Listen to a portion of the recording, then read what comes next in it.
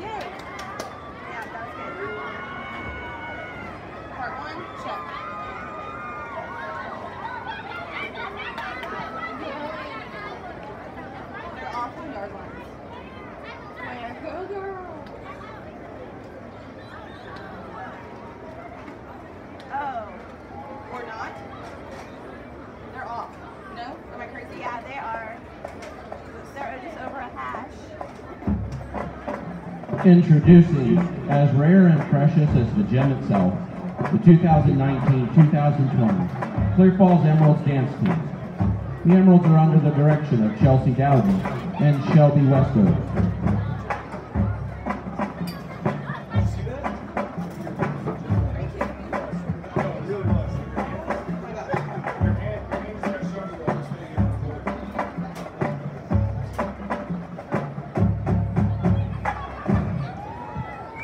The Emeralds officers are Junior Lieutenant Isabella Andy, Junior Lieutenant Annabelle Holman, Lieutenant Colonel Marin McMinn, and Colonel Eden Chambers.